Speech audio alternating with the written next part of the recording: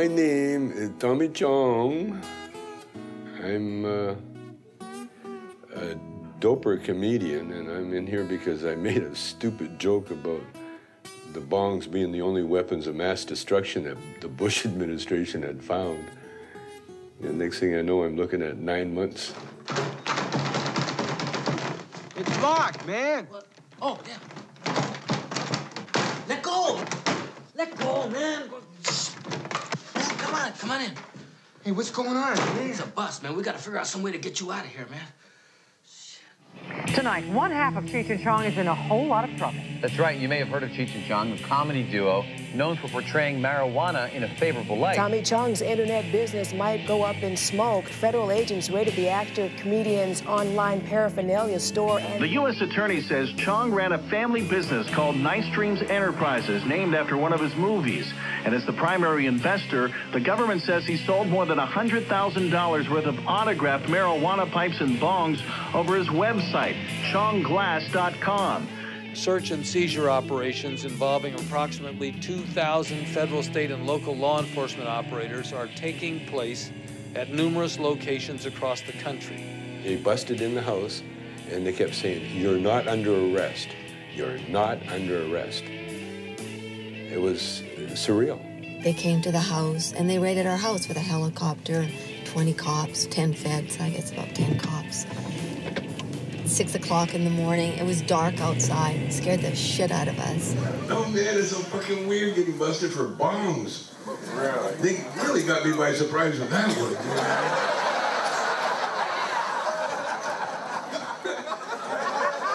I mean, you know, I mean, that, when they raided my house, man, I thought they were looking for dope. I don't know, you know. and when he said, that. "Do you have any narcotics in your house?"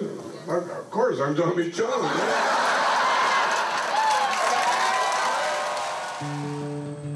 Came to his house uh, in a very nice residential suburb of Los Angeles with helicopters, with dogs, LAPD, DEA. You know, it looked like uh, John Dillinger was being arrested. Rousted him out of his bed in the, in the early morning hours to uh, arrest him for his bong business. I don't know what they were looking for. I don't really know what they were looking for. I mean, they found a pot of, a pound of pot in our house, but you know, when you tell people that, they go, wow, a pound. But you know what? If you're a pot smoker, a pound is not much. You have a pound of sugar in your house, always. A pound of flour. What is a mm-hmm. pound? It's nothing. He said, anymore. Said, well, there's some in the basement. And the guy kept running up and saying, can't find it. so I, I, kind of insulted him. I think that's why I'm going to jail. Like, what kind of fucking DEA guy are you? you know? And he got defensive. He said, well, I don't have my dog. Oh, well, you don't need a dog, you need fucking eyes, man. I'm all for it. I think as long as we're on code orange and the attacks coming from not only Iraq but North Korea are imminent, the best thing we could do is bust Tommy Chong. I mean, you realize that he, we literally have busted Cheech and Chong.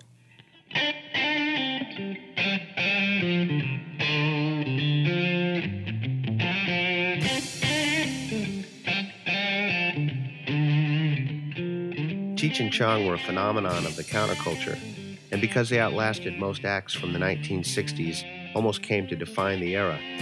Through the 1970s and early 80s, the Vato lowrider and the Mongolian hippie freak biker became the last of the anti establishment Mohicans, subverting, questioning, and mocking authority in their pursuit of righteous happiness and the very best buds.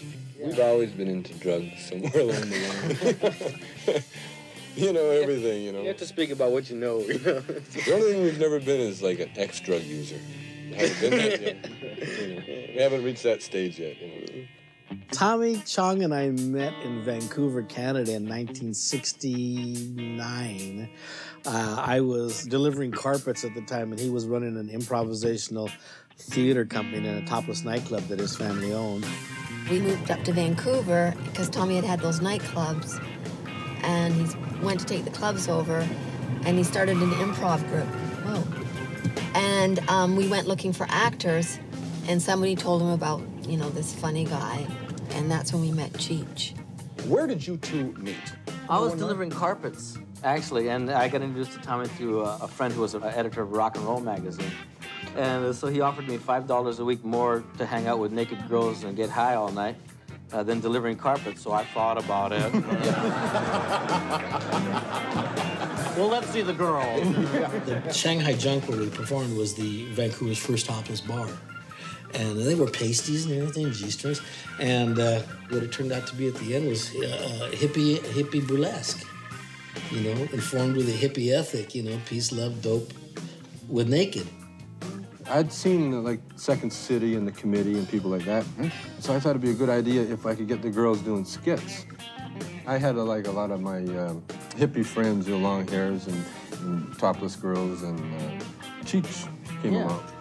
All the other people in the group wanted to go up north and get their head together. They felt this was not cool, making money, and it wasn't the hip thing to do. So Cheech wanted. Cheech said, "You know, man, I'll go down to LA with you. I'm, you know, I'm into making money. I'm into becoming a star." The group broke up, and then Cheech and I just stayed together. We came down to L.A., and the audience was, you know, that stoner kind of audience. So, so then we started doing characters based on our audience. Oh, oh, hey, man, the cops are behind us. No, don't turn around, man. Just sit there and act natural. Man. Hey, why don't you get rid of this stuff, okay? I'm getting rid of it, man. No, man, not that way. Eat it, man. Oh, man, I can't eat. I got a whole Hey, man, pocket they're right full, man. us, man. When I saw them, I thought, these guys are unique. These guys are really funny. And with music or comedy, it's always, is it funny or is it good? It doesn't matter what it is.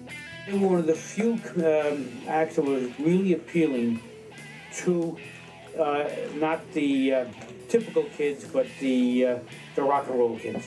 They were one of the leaders of the counterculture movement. Who is it? It's me, Dave. Open up, man. I got the stuff.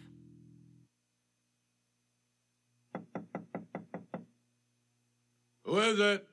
It's me, Dave, man. Open up. I got the stuff. Who? It's Dave, man. Open up. I think the cops saw me come in here. Who is it? It's it's Dave, man. Will you open up? I got the stuff with me. Who? Dave, man. Open up. Dave? Yeah, Dave. Come on, man. Open up. I think the cops saw Dave's me. not here. What made me think I could put that on record, I don't know, but you know, it, was, it, it, it, it stuck with me immediately. And the people at A&M and uh, my attorney thought I was pretty much crazy. When you have such a huge culture that doesn't have anything, they don't have a spokesman, they don't have someone singing about uh, their culture, they don't have someone making jokes about their culture. I mean, if you can open that door and get to those people, it's a huge audience. And that's why we were selling millions of albums. Do you think it might be a bit of an in joke? I mean, your humour is almost completely based on, on dope. Well, dope is sex. You know? And if you can't relate to that, forget it. yeah. You know, I mean, if, other than that, you know, get into religion. You know? we broke through with material that before that uh, it just wasn't happening. It wasn't being played. It wasn't being exposed in any way. We called it hard rock comedy. What actually is the difference of being a hard rock funny man? Is it got to do with, um, you know, dr- drugs? Hard rock is when, like, if I tell you a joke and you don't laugh, I punch your face in. Oh, so that is it. Um, what barnyard animal do you most identify with bachelor number three? Just a minute. I think I can answer that for bachelor number three. I would say you're a pig.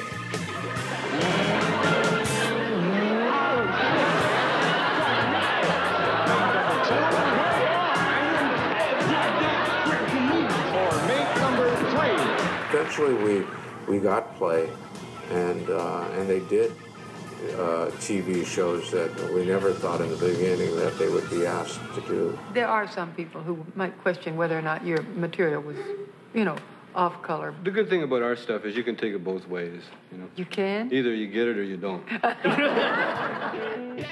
They were funny. They understood their audience. They understood the people who did like them, what they felt was funny, and they entertained them. I mean, that's we're in the entertainment business. That, that's what we did. Now, whether we want to go back and say, well, it was really a political statement, I don't know. What, what do you like so much about drugs? Drugs? I don't know. You have a lot of fun. You get high and you laugh at nothing. And that's what Cheech and Chong are. You, know? you get high and you laugh at us. You know? It doesn't take a lot of brain. Hey, man. What? Who is What's in this shit, man? Mostly Maui Wowie, man. Yeah? But it's got some Labrador in it. What's Labrador? It's dog shit. What? Yeah, my dog ate my stash, man. I had it on the table and the little motherfucker ate it, man. Yeah? So I had to follow him around with a little baggie for three days before I got it back. You mean we're smoking dog shit, man? So they did Up in Smoke, and it became a big hit. I mean, that was a shock to everybody, a shock. Because nobody thought that little movie was going to be a hit. It was, it was, it was so cool. It was so cool. Rider is a little higher.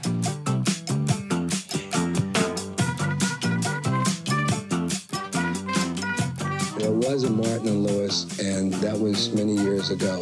Before that, there was Abbott and Costello. Before that, there was Laurel and Hardy. Today, there is only Cheech and Chong.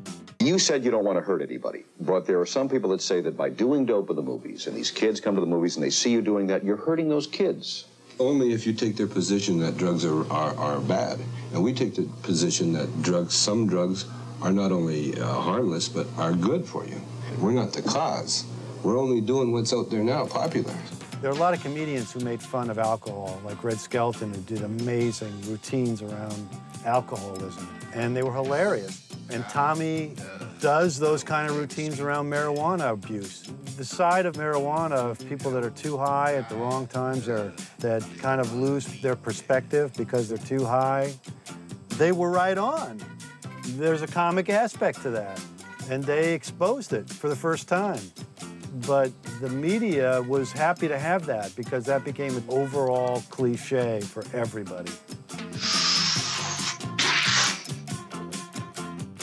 Well, when you're struggling as a comedian, you know, I mean, it's like a drowning man reaching for a straw, you know, or anything. Uh, you just try stuff until you find something that works. And what, what, what I mean by works, it's like, whoa, you get a you you get an effect from from an audience. You know, they, they sit up and they're they're listening and, and, and they're asking, where are you uh, performing next? We're in Muskegon. Muskegon. That's funny, you missed it. There's a set of skis and some crutches for sale. Oh, Jesus. oh, my God. Is this your weekly paper? or- Chong's lone stipulation that we did not discuss his current legal problems. Somehow the occasional reference to him stuck in our conversation anyway. Underscoring that stage and screen persona differs from man himself. Chong never once said man. Chong never once said man. Tommy was on the road doing stand up and he got very lonely because he didn't have Cheech. So he told me, asked me if I'd like to come on the road with him. Well, I said I would if I could, you know, be in the show. So he said, okay, start it. You could start just doing the intro. You know, the thing is, Tommy had me convinced that pot was legal. We had it growing on the roof of the house. We were selling little bongs after the show. So after this incident, I realized I fucked up. I should have married Cheech. So now let's bring up the biggest stoner of them all. The Mauritian marijuana, the king of dope, the one, the only, Mr. Tommy Chong.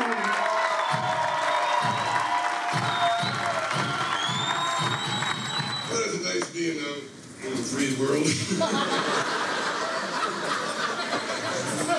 okay, man. I thought if I'm going to get pot, it'd be for pot. My mom.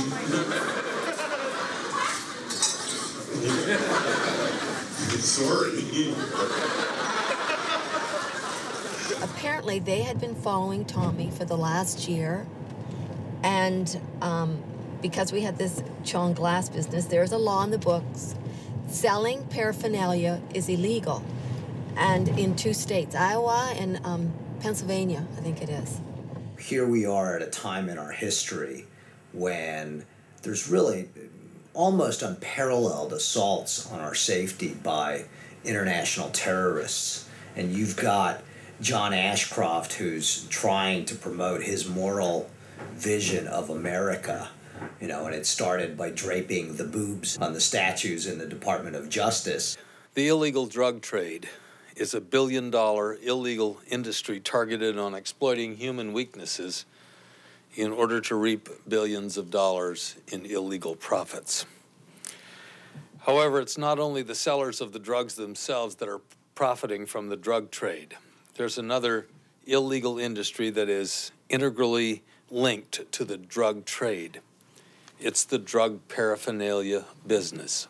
On February 24, 2003, the Justice Department called a press conference to announce the culmination of a year long undercover sting operation, codenamed Operation Pipe Dreams.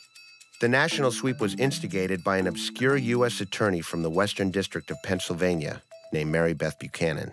But just to give you a description of, of how this would be used, the, the illegal drugs uh, would be inserted, for example, in, into, this area. Mary Beth Buchanan grew up in Roscoe, Pennsylvania, a small, all white town 30 miles south of Pittsburgh with a population of just under 900. In her high school yearbook, she said her favorite hangout was Pizza Hut, and that when she went to college, she planned on majoring in accounting. After getting her law degree from the University of Pennsylvania, Mary Beth Buchanan became a Pennsylvania State District Attorney. Then, on September 11th, 2001, United Airlines Flight 93 crashed 60 miles southeast of Pittsburgh, inside Mary Beth's jurisdiction. Her involvement in 9 11 catapulted her to prominence within the law enforcement community. Three days later, Mary Beth Buchanan was the first woman and the youngest person in Pennsylvania history ever to be named U.S. Attorney. For her first major operation, Mary Beth named Tommy Chong her number one target because Tommy Chong's entertainment career glamorized the use of marijuana.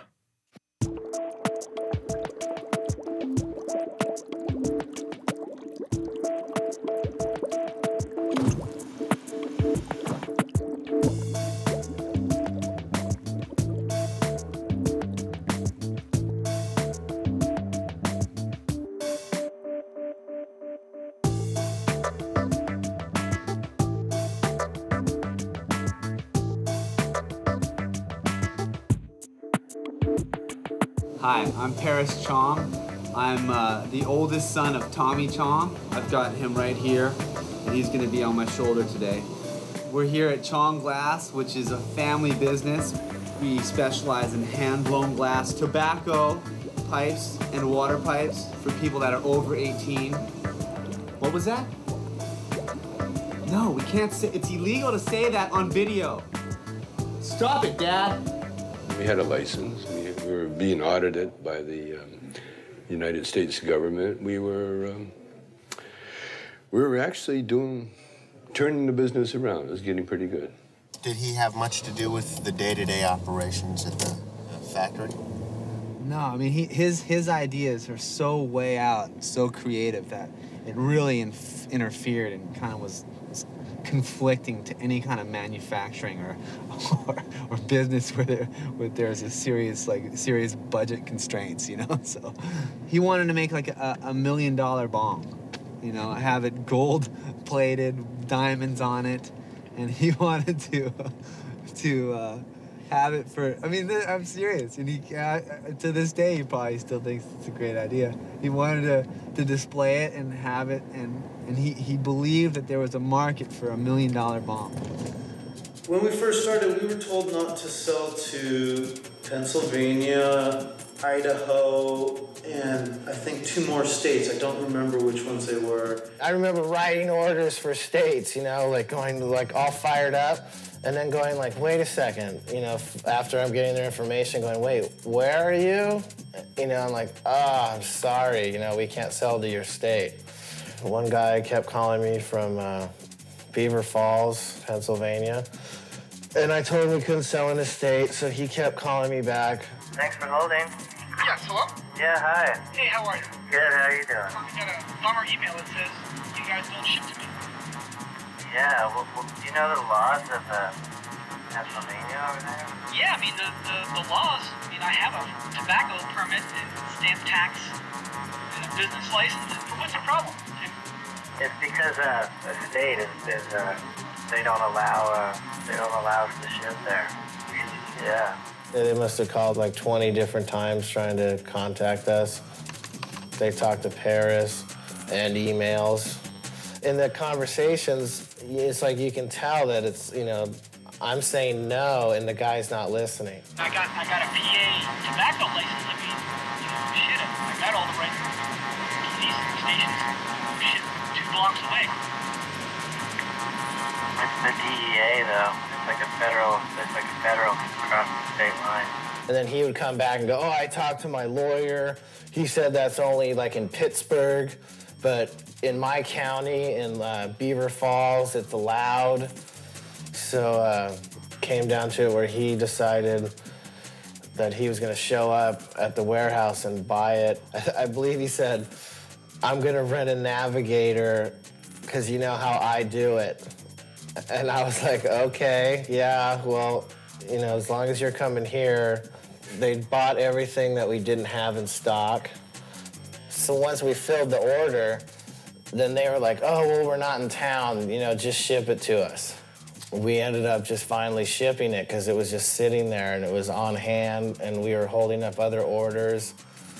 So it was probably eight months, the whole thing. Hey, Peter, it's Russell from Shopbot. Hey Russ, what's going on? Oh, a lot, man. How you doing? Good man. I just uh just going through these boxes. I haven't gotten a chance to open them up yet, but Oh, no way. They, they're there, though. yeah, Oh, killer. I just want to check, make sure you got everything. we got them, brother. This could be it, Harry. Pass the word along. Tell the men it's time to shoot the moon.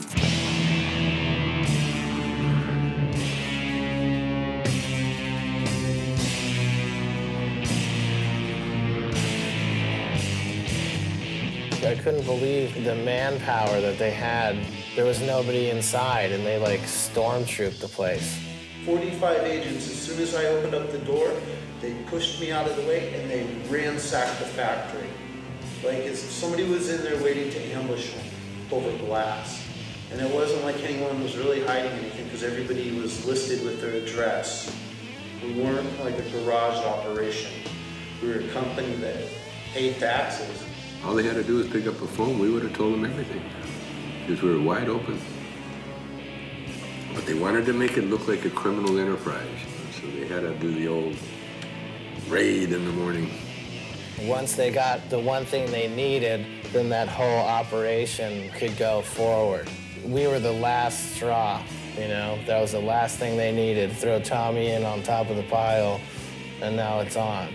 Where no one, it wouldn't even have made the news if they would have went up to Oregon and shut people down.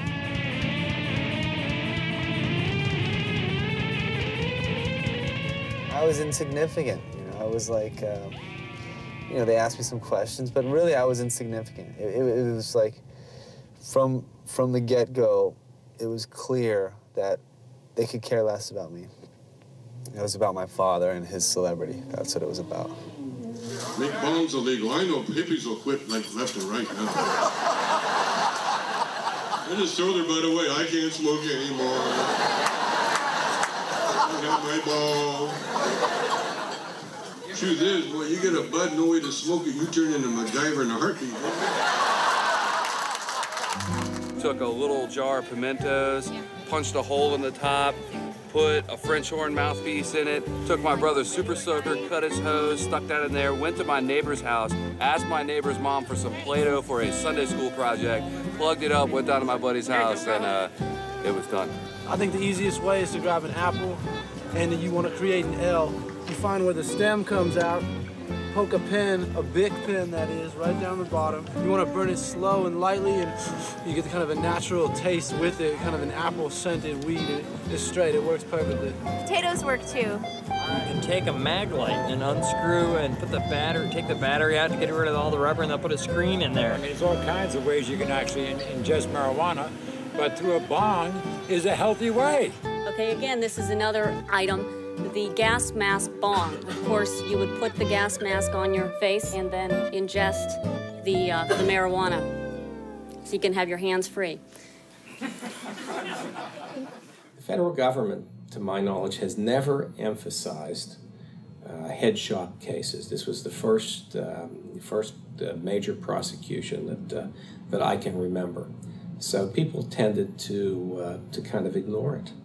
They sort of pulled something up out of the out of the basement of federal law here and prosecuted Tommy Chong with that with that uh, federal statute. This railroad train was heading for the station. And one of our problems in this case is that so many people told Tommy that nothing was going to happen to him. And we were afraid that it was. The government believes that the federal statute in this case prohibiting the sale and offering for sale of drug paraphernalia is absolutely clear. This woman in Pittsburgh, she was the national U.S. attorney in charge of the task force on drug paraphernalia. So we knew we had problems. And she came into court personally, argued the sentencing, and it was clear this thing was being done as a show trial, as a show case for her to further her career and for the Attorney General to further his career. They spent $12 million and utilized massive law enforcement resources to prosecute this bong case. It was a shock. In a last ditch effort to avoid serving actual prison time and stay at home under house arrest, Tommy made a public service announcement for the drug courts of America. Tommy's concept why smoke pot to get high when you can get high naturally dancing salsa? Is this a wide shot? You have a headband? Some Yep. John? You want to do some, some stuff with the with the John character talking about salsa? Mm, no. No? No, I think it'd best be me. I actually think you should put some humor into some of this. Some. Well, that's true. I do. Yeah, you're not funny, man. Yeah. You're no, the funny. humor is good, but I don't think being that character is right. Well, you don't want that because you know my humor, you know, in this situation is definitely not something you were you're going to be able to show any drug court. Try one more time. Action. Uh, hey man, you know who I am. I'm Tommy Chong, man, and I just got to know one thing. Do you want to get high? Cut, cut, cut. Now, isn't it true that Tommy plea bargained and accepted a jail term, as I heard, correct me if I'm wrong, to save his wife and his child? Tommy determined from the outset that he was not going to contest the charges if we could arrange a deal that would assure that neither his son nor his wife were charged. She said, Look, it, uh, we're thinking of prosecuting his son, we're thinking of prosecuting his wife. Uh, if your client takes the, takes the fall, we won't prosecute them. So it's not really a deal. They didn't say, oh, yeah, you'll get house arrest or you'll get this. It's like, you know, you don't know what you'll get, but we won't prosecute your, your you know, your, your son and your, your wife won't get the same thing, you know, so you have no choice. Almost all federal charges are settled by a plea bargain. The prosecutors have enormous, enormous power uh, in seeking punishment by how to frame the charge and can seek very, very long prison sentences. And as a result, there's enormous pressure on the defendant to plea bargain and plead guilty and get a reduced sentence. I mean, some of these sentences are just too long to serve. So what Tommy did, I don't know. Maybe he could have been found innocent in court, maybe not. But by going to court, it would have been an enormous, enormous risk. The way it is now, this is a slam dunk for all the legal profession. The, the defense lawyers don't have a job. They just rubber stamp. Any, any, all they have to do is take the deal, whatever the deal's offered, to their client and say, take the deal. If you don't take the deal, you're going to go away to jail because there's no way you're going to win. I could speak for hours about how unfair the federal system is. It is run not by judges, it is run by prosecutors and by our elected officials in Washington, D.C. It is a totally unfair system. I feel badly for anybody under federal indictment.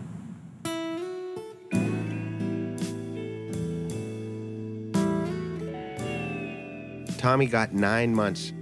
Of all 55 defendants, he was the only defendant with no priors to receive actual prison time.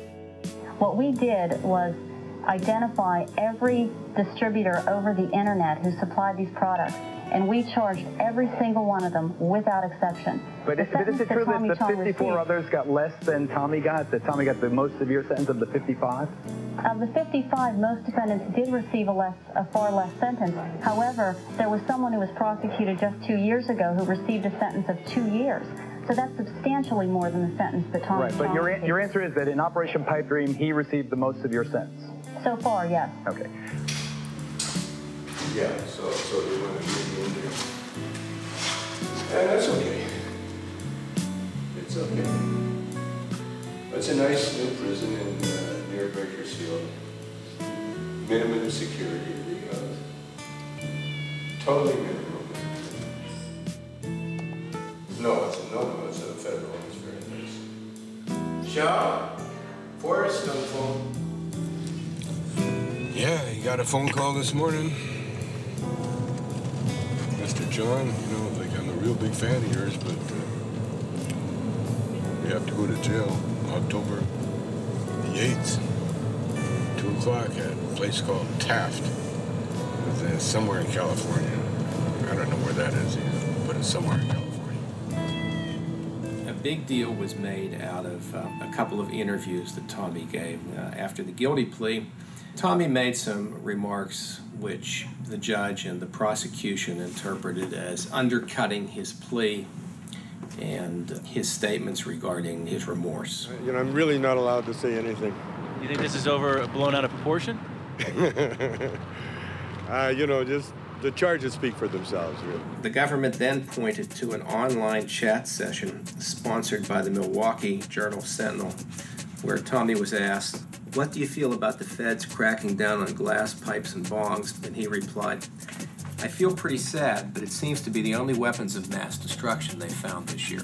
They argued that uh, Tommy became wealthy by glamorizing the illegal distribution and use of marijuana, and they cited uh, his film uh, Up in Smoke, which they said trivialized law enforcement efforts to combat marijuana trafficking and use. Uh, totally discounting the satirical nature of the film and uh, taking the position that this was somehow or other a, um, a serious slap at law enforcement.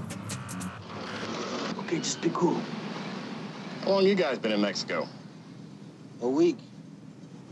I mean, a, a, a day. Which one is it, a week or a day? It's a weekday. You got any narcotics or marijuana in here? Uh, not anymore. What? They, even in the transcripts, they, they said, you know, that I'm in here because I did these movies. Like it says, uh, children are going to be watching these f- for decades. I think this whole portion of the government's sentencing memorandum undercuts their statements to us that they were not seeking jail time for Tommy. They would say to the judge, here's a man who has become wealthy thumbing his nose at marijuana enforcement efforts. The government could only have hoped in pointing that out to inflame the judge and send a message to the judge that here's a man who needs to be taught a lesson and should be incarcerated. That's my personal take on it. The government has admitted that part of the reason for the sentence was the exercise of his First Amendment rights, that is, making humorous films about uh, drug use, which they claim encouraged people to use drugs, is a plain violation of the spirit of the First Amendment. So you have an equal protection violation, a First Amendment violation, and a needless misuse of criminal resources when easily this could have been done in a civil manner. The idea that anyone would have to serve an extra day in prison because of a comedy routine involving Sergeant Stedenko, that's like the worst paranoid Cheech and Chong fantasy from the early 70s come true. Hey, man, look, the house is being raided, man. Get out of the house. Sounds very Latin. Could be the Mexican connection. Better get this down. This is America. You get to criticize the government in this country. You get to say, I think these guys are ridiculous. It's guaranteed in the very first amendment to the Constitution. It's what this country was founded on. You get to do that by being an American. And the fact that she brought up your movies? The fact that she brought up our movies means we don't want you to say whatever you want to say. This is not your America anymore, it's our America. You know, and that's absolutely not the case. I think the joke we did on the Tonight Show, I said, you know, if Tommy had been a conservative radio talk show host instead of uh, being in movies, he'd be in rehab. See, I think if they want to get you, uh, they get you.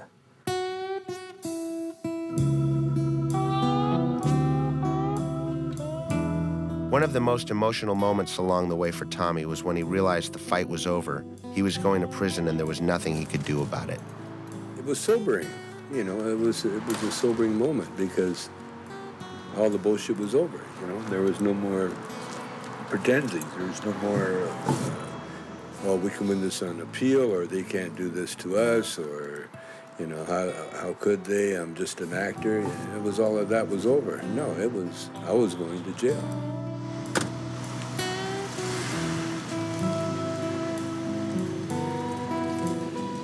I want to make a difference now.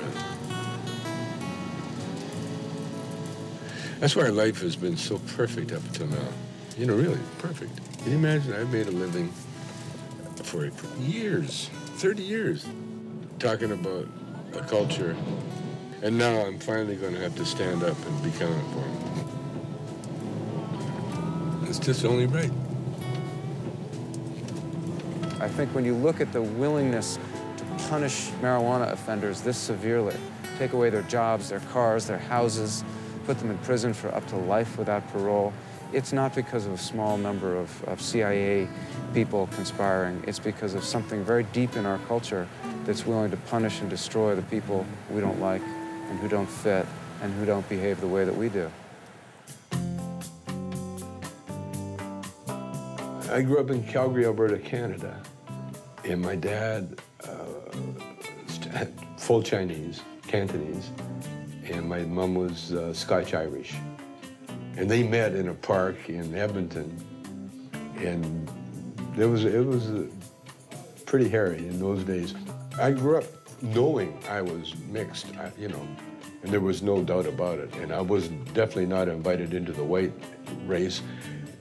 I remember a 10-year-old, 11-year-old girl having a birthday party on my block, and everybody got invited except me because I was half Chinese. You know the father did not want uh, to mix, you know, have that little half-breed boy there, you know. And these were the people I played with every day, you know, that, that, that kind of thing. So growing up in that environment, you know, with all the rednecks and that, we learned to fight. First thing we did, you know, my brother and I, actually my brother, he was much better. He was older than me, so he, he had to clear the jungle, you know. I always felt second class with white girls, you know, especially the high class white girls. You know because they'd always be sneaking around to, to, to see me or lying, you know, telling uh, I was Italian or something. and then when I started dating black girls, it was like, wow, this was great, you know. I really became a black guy, man. I did. Music, everything. I dressed, talked, tried to talk, but, you know, I, I wasn't very good at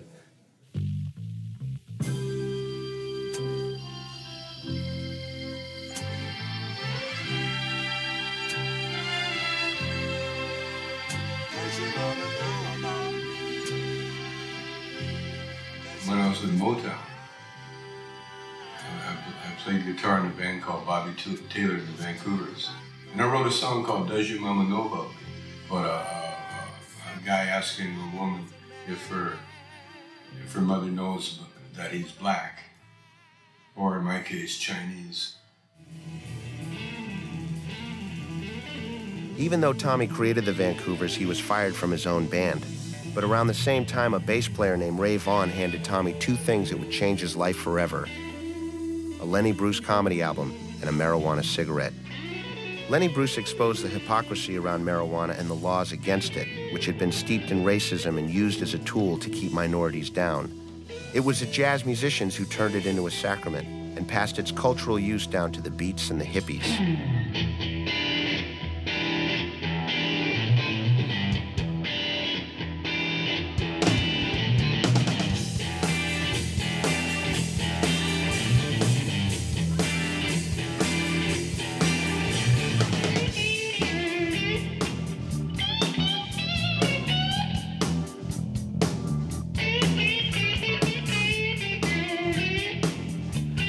Much of the war on marijuana is really a war on the 60s. You know, it's a way of enforcing conformity on people. The, the pot laws have very little to do with this plant and everything to do with the people who smoked it. And in the 60s, marijuana was a, was a symbol of rebellion, openly and defiantly a symbol of rebellion. Everybody was smoking pot. Your school teacher was smoking pot. You know, it's like it was a it was a sacrament. So Tommy and Cheech and Chong were the voice of all those people, that emerging cultural front, that liked the effects of marijuana better than they liked the effects of nicotine, caffeine, and alcohol. It was a cultural divide. We had a huge spiritual awakening in, in, in the 60s, and they've spent the last 40 years trying to put the genie back in the bottle, and they've been very successful at it. America's public enemy number one in the United States is drug abuse. In order to fight and defeat this enemy, it is necessary to wage a new all-out offensive. I think we're on to something really big, Harry. This could be the bust we've been waiting for. I told Peter Fonda this when we talked to him. We were actually going over this issue, and I said, they're out to get us. All of us. it's just starting with Tommy because you got that right. I said, so we got to stick together. And I said, and if they have their way, they will get all of us eventually. A catchphrase of the 70s, do your own thing, has been replaced in the 80s by just say no. I went to Oberlin in the 60s and graduated in 69 from Oberlin, so I am well aware of the whole culture. Tommy Chong is a, is a, is a lot of things, but he's made his cause celebre drugs. And uh, you got to live your life way beyond that. We're past the 60s. What's really remarkable that under this drugs czar, John Walters, John Ashcroft, the Attorney General, the Bush administration, they've really adopted a new focus of the drug war. And the new focus is marijuana. Marijuana is the culture war for them. It's the way of taking the drug war to middle America. There has been a culture in the United States in which entertainers have portrayed drug use as something that's acceptable and in fact desirable. And unfortunately, our youth are influenced by those types of statements. Potheads are so easy. You know? I've known potheads to ask cops directions with a joint in their mouth. Excuse me, officer. Can you tell me?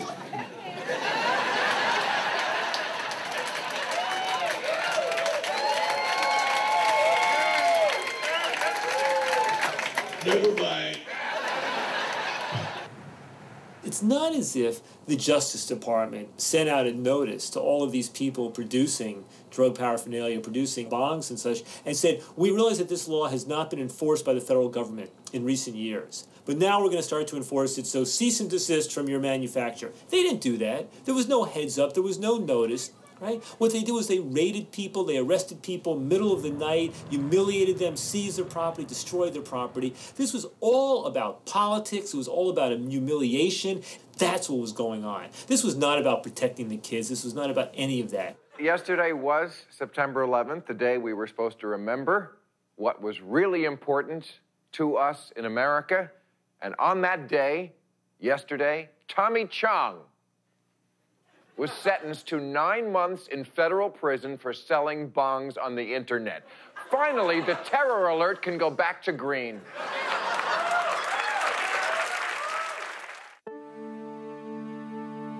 Right after 9 11, Ashcroft said, We have to concentrate on a few things that we need to do, most importantly. He made a very, very smart statement that he never lived up to, which was, look, now that we're confronted with this terrorist problem, you know, we can't really do what we all always did. We, and I, I interpreted that to mean, you know, we can't fight the culture wars, we can't fight the drug wars, we can't fight the war on sex. We got to fight the terrorists. We can't divert our manpower. Well, obviously, that went out the window because I can't think of a more ridiculous diversion of manpower than to bust Tommy Chong. If anyone feels safer because Tommy was put in jail, that's a ridiculous human being. They're just tearing this whole Constitution apart. They're tearing uh, freedoms apart. You know, they got this. And then the 9-11 hit, and then that, that gave them the carte blanche. You know, now they can do a Patriot Act on everybody. We've got a new war. And I want you to know your government is doing everything we can to defeat those who hate freedom. It's so important for Americans to know that the traffic in drugs finances the work of terror, sustaining terrorists. And I mean, even, even right now, I read where they equated drug use with terrorism. So that's the first step in, in saying that if you use drugs, you can be locked up as a terrorist because you support a terrorist uh, uh, organization, your use of drugs. The terrorists use drug profits to fund their cells, to commit acts of murder. If you quit drugs, you join the fight against terror in America.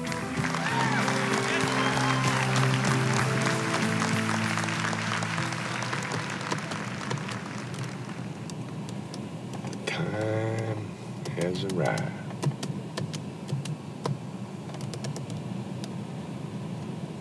I got a little thing I used to do, still do.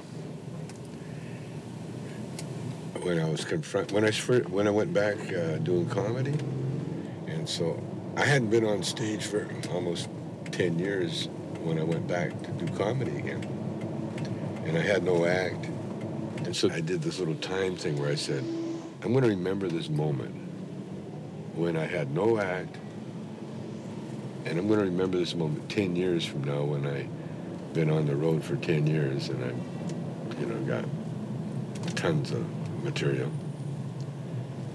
Because it was, a, it was sort of like a helpless feeling, you know, that you're caught in this time warp. And so that's kind of how I'm handling this, this little trip I'm going on. Because I'm going to remember I'm not going to remember, you know, it's not so much dwelling on the fact that I'm leaving. I'm looking forward to the time when I'm coming back. That's the time I'm going to be remembering. It's funny, Arnold gets, we're going to see if we got, we're going to have a governor named Arnold. I got a feeling we're not. I mean, if, if they elect Arnold, I mean, then we really are, are a nation of, of retards.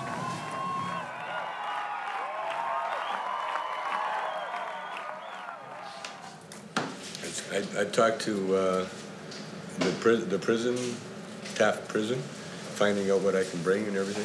What happened to your glasses? And they These said- are- these what- Oh, they're old. I think I got a sh- kind of a I'm gonna throw these out. So what else? Your glasses. What? These ones. These ones. What? What's embarrassing? You don't need I can them. use them. No, we'll throw it out. Honey, don't do that. Don't throw them in You only get to take one pair to prison, honey.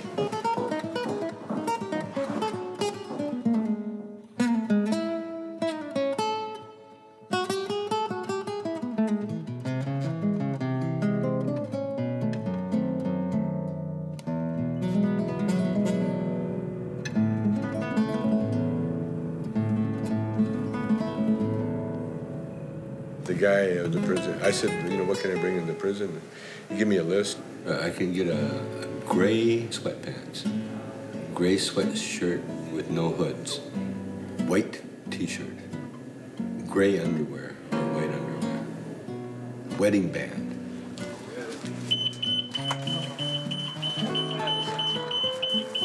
And he says, and you can bring prescription drugs provided you have a prescription from the doctor.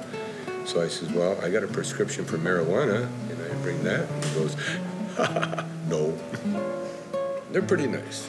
It's gonna be a nice adventure. Adventure. I'm going on location.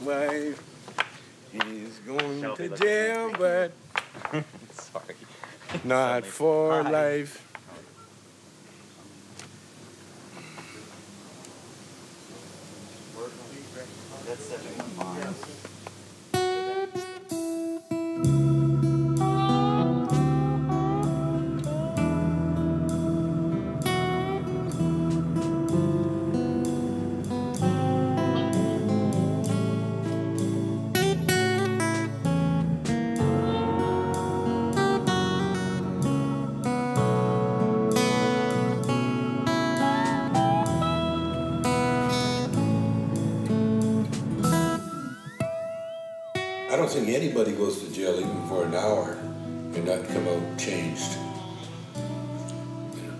You'll always have that knowledge that at one time or another you have been humbled. You are humble. That's what it is. You no longer feel invincible and you no longer feel like, oh, that would never happen to me. Once you've been through that that that walk, you know, once you've done that walk, yeah, you come out changed. You're, you're there. You've been there. Tommy phoned me this morning at it was like 7:30, and he'd been up since five, and he's doing really well. It's it's fine in there. He has a lot of fans.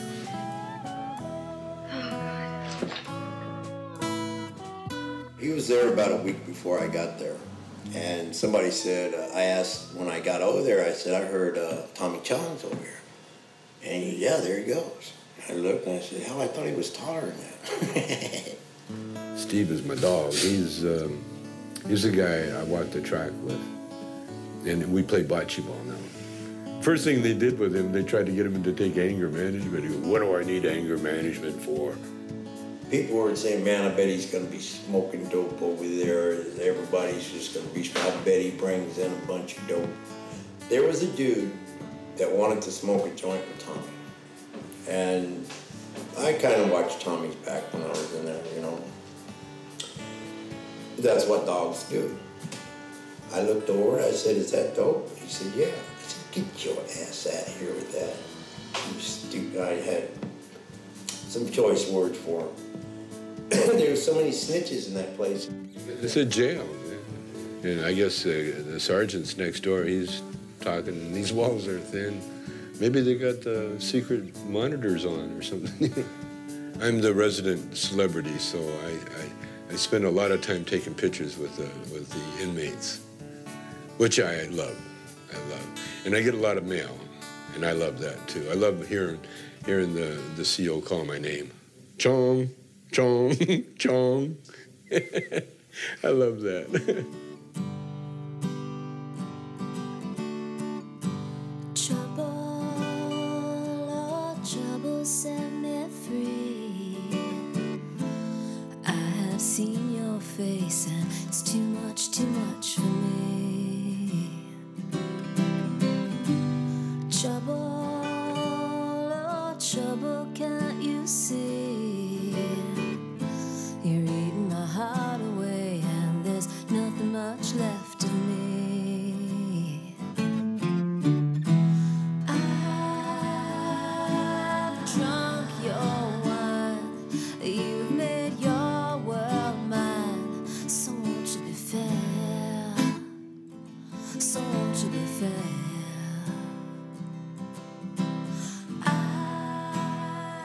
foolishness of it is, all they did when they did that to Tommy, all they did with the people who follow him, all they did was made more of a hero out of him.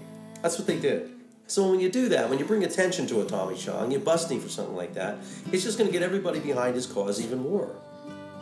There are people in here that desperately needed a voice, you know. They desperately needed me to be in here so I could be doing exactly this because no one's speaking for them. Because there's so many stories in here. There's so many uh, innocent people that are they're being uh, incarcerated for for no reason. We got to move on. You know, my dad's going to be fine. He's he's a tough guy. He's in prison and he's he's fine, you know. And he can't wait to get out, but you know what? He's fine. And they they're not going to take anything away. They're just making him bigger and stronger and something serious to reckon with. Because when he gets out, I mean, talk about inspired. I feel tremendously guilty. And I feel I feel very responsible for for convincing my parents to, to get into this business. So, you know, I'm gonna do my best to make this up to them. You know. And it's not something that they've instilled in me and said that, you know, you owe us or anything like that. So it's I don't want that to, to, to sound like that. It's just something that I that I see, that I've observed and that I want to do for my family. See, there's no set rules because you never know. Like a lot of people say it was wrong for this guy to go to jail, but yet he wrote a great novel while he was in there. You know, because people's experiences, man. How can you say they're right or wrong? You know, it's what people go through, what they need to go through, in order to, you know, in order to get some use of living on Earth. You know, so how can you make any judgment? I can't. All we can do is, uh, is just be funny. That's all, and make people laugh. Hi there, groovy guys, groovy girls. Welcome to Let's Make a Dope Deal. Hey, Bob, we haven't seen you in five years. What have you been doing? I said, Bob. Yeah. Bob! Bob! right. We haven't seen you in five years, Bob. What have you been doing? Five years. That's right. We haven't seen you in five years. What have you been doing? I got busted. Five years. All right. He's been in jail for five years. I got out yesterday, man. All right. And you're ready to play Let's Make a Dope Deal, huh? I want to score some more dope, man. All right. Burnt out, huh? Hello? Hi, honey. No, we're late. We're just driving in there now. Josh, put the camera away now, okay? Don't because we can't do anything because I don't want Tommy in any trouble. I do not want them putting him back in here. Anything like that. The last thing we want. Anything like that. Is that him? Oh, that's him. That's him. Did you honk? Yeah. Fuck. Don't you dare put that Okay, camera up. okay, okay, okay. Don't you dare to All get right. him in trouble. All right.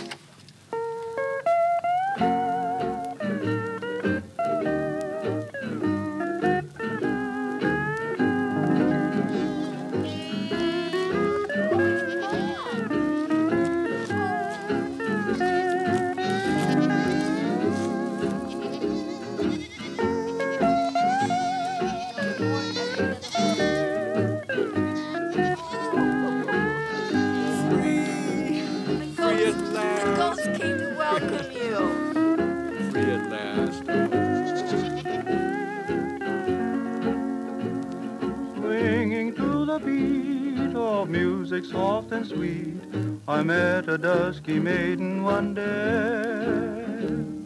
With her naughty glance and charming hula dance, she made me want to linger and play. Naughty hula eyes that slyly hypnotize, that cast a spell right from the start. Deep within them lies a smile that never dies, to thrill and still my heart. Then it dropping I'm trying to register as a narcotics offender at the police station, but I've just been told I have to go downtown and be in line at four in the morning at the Parker Center.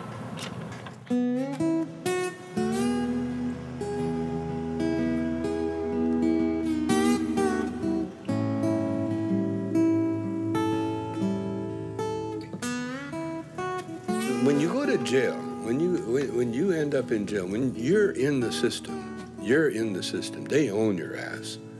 They want people to fail the piss test. That's why they have piss test, and that's why they have these probation periods. You know, it's a game. This government is equipped to handle rebels. You know, that's exactly what these laws were, were designed to do.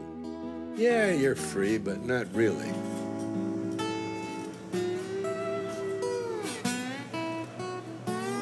Still again, no, is just large. And I'm allowed to go out and work uh, at World Gym for, for a minimum wage, which they get 25%. In uh, Nice Dreams, uh, Zabo plays himself you know, in the gym. Cheech and I go in the gym, and, and I bring Zabo a bud. This bud's for you. Wow. Zabo, Zabo taught me how to smoke pot. In the 60s. How, did you really teach him how to smoke pot? How's that? Come on, you kidding? Inhale. He's the master. But we always used to smoke together at my place. And I hate to tell you who else was there. he wouldn't like it. Who? Well, we'll give you a hint. He's the governor of California. He's the governor.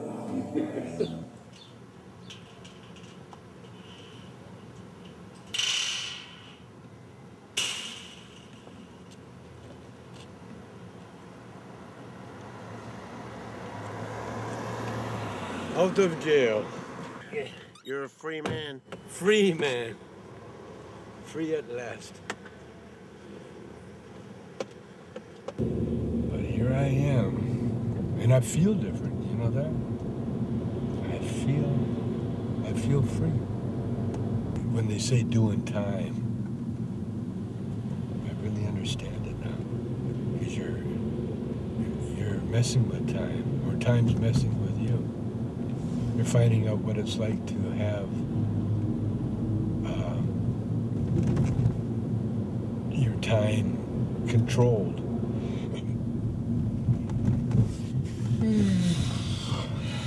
well, but there's a there's a feeling. There's a wow, I feel it. I, I wasn't sure if I would feel it. How does it feel?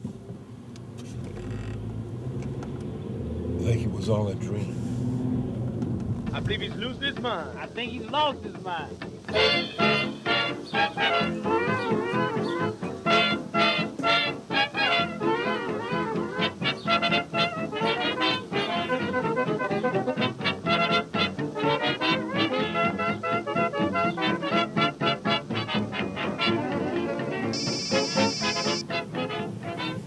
I am living proof that stoners can be efficient.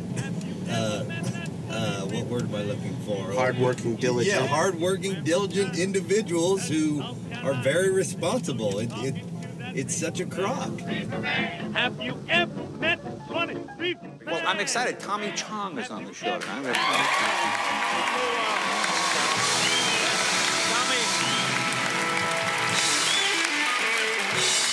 Tommy flew into town last night on the red eye.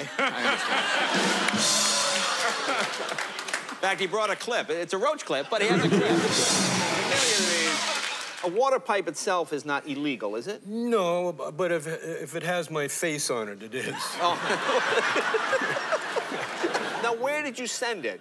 Because you can Um, buy water. You can go to Santa Monica Boulevard and buy a water pipe. It was sent to Pennsylvania to a little head shop run by the DEA. Okay. They So just- isn't that entrapment? They've ordered. They've they've asked you to send it. Isn't that entrapment? I yeah, but it- Okay. this is America. Okay. Yeah. There's no such thing as Now- entrapment anymore. And where was the prison? Where'd you get sent? Oh, uh, Taft, uh, California. It's uh, near Bakersfield. Oh, okay. Real nice. In fact, when Real I say nice? hi to all the guys at Taft, they're white. I'm here, man. Hey, Steve. Tommy Chong is 66 now, and the man who, along with his buddy Cheech, parlayed stoner comedy into best-selling albums is on the comeback trail. Comeback because Tommy Chong was released from federal prison in July after spending nine months in a California minimum security facility. Tommy Chong performs tonight and Saturday night at Stanford and Sons Comedy Club in Overland Park. and these will be his first stand-up shows in the U.S. since he went to prison.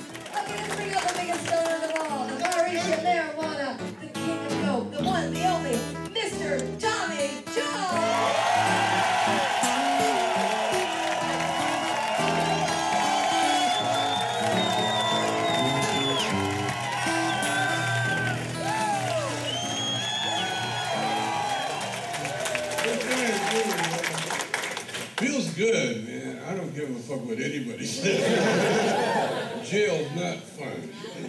At this point in your life, people hear the names Cheech and Chong and they think of drug use.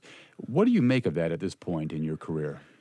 Oh, I, there again, I, you know, uh, it's more, um, it's a badge of honor that I, I'm very proud to carry, especially now, you know, because I'm, I've been, uh, you know, martyred. It's kind of weird, you know, especially the guards. You know, the first time I was in there, you know, the guard's a big fan. He goes, "Hey, I got all your records." okay, uh, turn around, and spread your ass. Well, Cheech and I, uh, you know, we're we were going to do a movie together. We still still might if uh, if if I can get him to be Cheech again, you know. But he's he changed. He he he went 180 degrees like like the other way. What do you mean? Uh, well, religious? No, no. Uh, he just doesn't want to be that Chicano character anymore. You know, he he's growing out of the. He's growing up. In other words, you know, because the partner, the, the Cheech that I used to be with, is gone. There, he's not there anymore. Kansas City, the home of John Ashcroft. That's my buddy, man. Oh, John. he hasn't seen the last of me. Needless to say, I want to thank U.S. Attorney for the Western District of Pennsylvania, Mary Beth Buchanan. That's a, a, a lot of work in behalf of the American people and the children of America. In June 2004, John Ashcroft promoted Mary Beth Buchanan to director of all 94 U.S. attorneys, making her the most powerful federal prosecutor in the nation.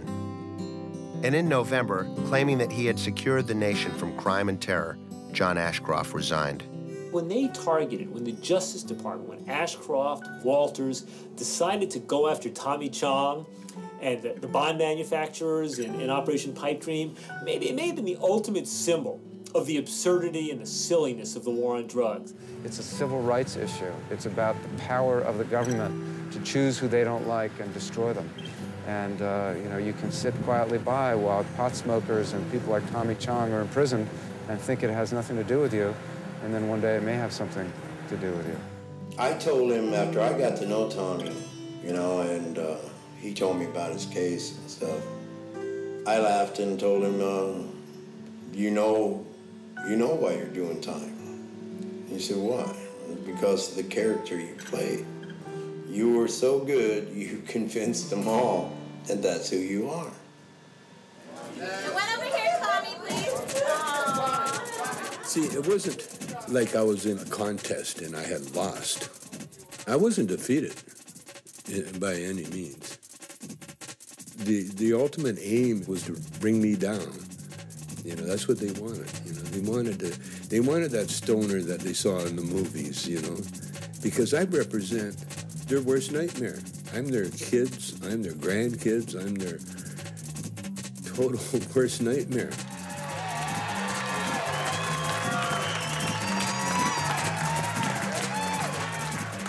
I, wasn't an activist before they put me in jail. But I sat in jail and I looked around and I seen what was going on in America. And I tell people now, you know, they say, What was jail like? I said, Well, you'll find out. You'll find out. Because they can put anybody in jail anytime they want and don't think they won't. Keep awake, be alive, and make sure we vote. Make sure we get everybody out there and vote these fuckers out of office. Thank you. Tommy Chong, ladies and gentlemen. Tommy Chong. everything in this drama it was it was exciting it was exciting and it was sad. It was, uh, it was all of that. But it's not over. See, the fight wasn't over. You know, it wasn't like, oh, I lost, I gotta go to jail and start my life over again. No, it was, uh, what happened is just the beginning. It was like a chapter. Prison time was just another, another round of the fight. Cause I've been smoking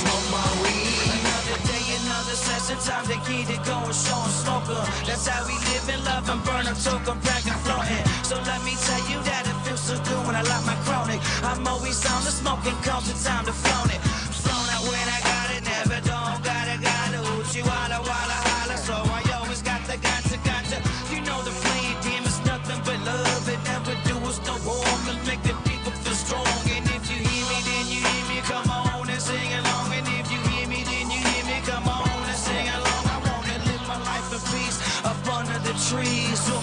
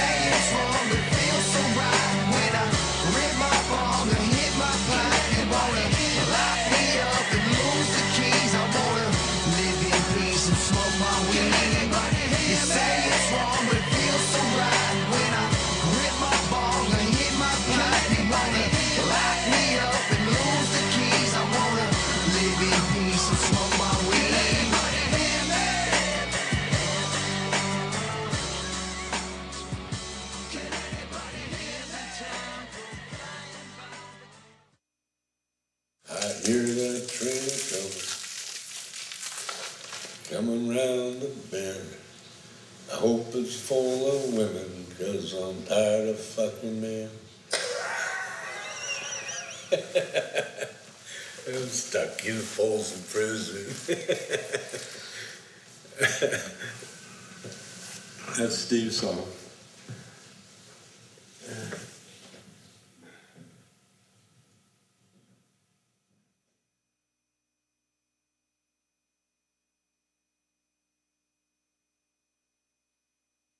It's not without my daughter. That's funny. It's like a That's funny. Or a blow up doll or something.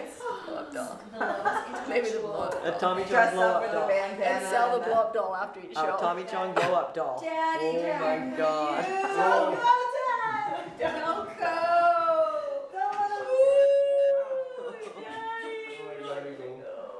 She goes, Are you sad? I said, Well, yeah, Oh. it's very sad. She goes, But he's taking the rap for his son, right? Wow. And I Gotchi said, says that old 90-year-old Gotchi? 90, uh, one year old Gotchi. And I said, well, 30. Yeah, and I said, Well, you know, it's, it's more complicated, but that's kind of what it is. And she goes, Well, I hope we won't have to do it all the time. That was the problem. We never, we never really believed it. No, because No. it's too I know. absurd. We never believed it. That's called celebrity Shelby. retardation. That's what celebrity does to everybody. You become stupid. Because you think it's on You you just get so much given to you for, for decades. Well, you know what you're saying. And you you start to become entitled. And I speak from experience. And then one day the boom falls and you're like, oh, oh. What? Well, it's the opposite. It's the opposite with me. It was that I thought they would let me go because I was famous. The opposite. They need me there because I'm famous. Yeah. That's why I'm going. Oh, yeah. I, so it worked the other way around, you know? Watch out, Eminem. When you're 80 years old, we're gonna get you.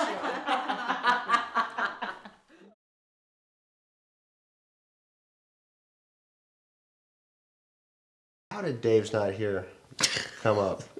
Typical Tommy sadisticness. There's a little studio area in the Charlie Chaplin Studios, A&M lot. And so the screening room. And so I went inside, the, we both went in the screening room and, and Cheech put on a lot of costumes, you know. He had an overcoat and a hat. He was going to go outside and then he was going to say that um, he's a, like a drug dealer and, you know, he's going to knock on the door. And I, I was supposed to open the door and, you know, let him in. And, and um, and there's an acting exercise, you know, where you go outside the door and you knock. And I, I never knew about this exercise, but anyway, it was just my instinct. You know, I just, he went outside and I turned on the tape recorder and he knocked on the door and I wasn't looking at the tape recorder, so I wasn't sure if it recorded or not. So when he knocked, I, I said, who is it? And I was supposed to kind of knock on the door, and the guy said, "Come in," and uh, and it was a whole other bit about something, the employment office or something like that. And so I said, "Hey man, you know, go dress up in the, the coat and the thing and the bag and the hat. Okay, just get the character. Okay." So I go out there and I, I go, it's, it's hot, it's it's boiling. I'm just in this long coat and boom, boom, boom. Who is it? The fuck? So then I waited, you know, because I looked at the tape recorder and the and needle wasn't moving. Of course, we weren't speaking. And every time we'd speak, I'd look away, so I, I, I you know, wasn't staring at the tape recorder.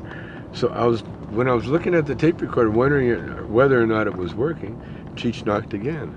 And I seen the needle jumping, so I knew it was working. So I said, so I said, oh, we'll start the bit again. So I said, who is it? Uh, so I just kind of got into character. It's, it's Dave, man. And then Tommy's, it, and then it was Tommy fucking with me. I said, who? He goes, it's me, Dave, man. Now open up. And then I said, Dave? And he goes, yeah, man, it's Dave. Then I said, Dave's not here. and there was this beautiful pause, and all of a sudden he started banging, I'm Dave, man. No, open the fucking door. And then he went nuts. Open the fucking, come on, man, it's hot out here. Come on, what are you doing? He finally opens up the door and he's just laughing his ass off. He's just, just tears are rolling out of his eyes. This is what you got. And he's recording this. You wanted to kill him. Huh? I, I like says, you gotta hear this. This is the fucking funniest thing. So we play it back and we both started rolling. We were just, it was hilarious. And so I opened the door, and he come busted in, man. He was so pissed. He's throwing all the costumes at me on the floor. What the fuck you doing out there, man? It's hot. I couldn't stop laughing. I, I said, listen, listen. So we, we rewound it and we played it back now. That was the only time, I swear, the only time, well, a couple of times we, where we just sat and played the thing over and over again and laughed. Just laughed ourselves sick. We were like the biggest Cheech and Chong fans ever. And then we took it to, around. We just played it for everybody. And everybody that heard it just cracked up, just loved it. And that night, we went in and recorded it for real. You know. And we never, we never even came close. Ah, it was funny, but we never came close to the original recording, which we couldn't use because you know it was that little tape recorder. It was so simple, just the simple thing. But it, encaps- it captured everything: the paranoia of the time, the drug culture. It was just a little slice of life that everybody identified with. Right. And just simple, simple, one chord, and and so then we actually had to go recreate it in the studio. It was nowhere near ever. And we never got near what it was originally. No. Uh, but it became a, a, an iconic thing, an iconic bit. You know, everybody knew it. What happened to the uh, to that to the original? I don't know. It was on a little cassette. You know, we got lost somewhere in the process. You know. Oh man, that was so funny. Where is that original recording? gone. That was 30, uh, what, 37 years ago.